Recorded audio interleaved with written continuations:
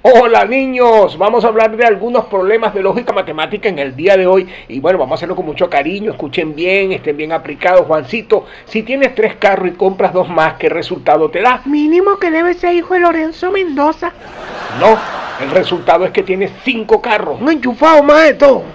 No, son problemas que estamos discutiendo. Tiene cinco carros es un problema, maestro. Ah, pues. Son cinco colas que hay que hacer para echar gasolina. Bendito sea el Señor, el Creador. Mi papá no hace cola para echar gasolina, maestro.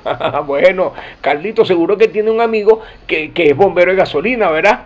No, no tiene carro.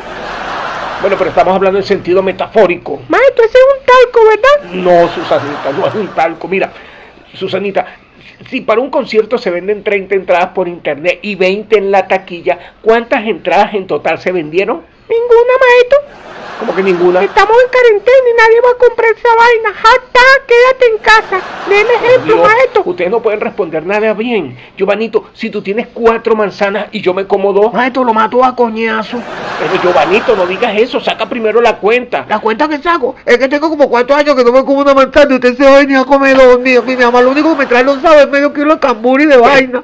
Pero no los estamos imaginando, no es real lo que estoy diciendo. Igual yo me imagino que yo lo mato a coñazo. No lo digas otra vez. Así que me da mi manzana ahí. Miren, es una resolución de problemas. Por eso, ese problema lo resolvemos ya y aquí. No puede ser, Dios mío. Eh, Maestro, ¿verdad que nosotros nos morimos porque Adán tiene una jeva y le comió la manzana? una jeva no es Eva, la esposa de Adán, Eva. Maestro, pero primero Adán le estaba comiendo la manzana a la jeva. Por Dios, con ustedes no se puede dar ni una clase sencilla. Igual es una jeva, ¿no? Andaban desnudo para arriba y para abajo como mi papá. Su papá anda desnudo para arriba y para abajo. No, mi papá es una jeva.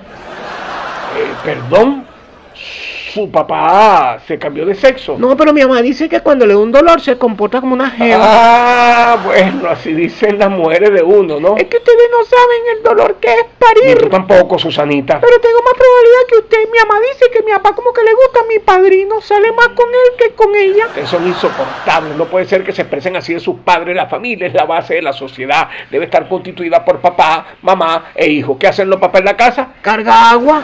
No, Se ven el día con la otra y en la noche para el rancho. no, Dormir y ver televisión. no puede ser. ¿Y entonces su mamá qué hace? Sale a trabajar. Ah, ¿y ustedes? Llevando coñazo de la abuela. No, chicos, definitivamente la estructura de la sociedad se acabó. Hablamos luego, niño.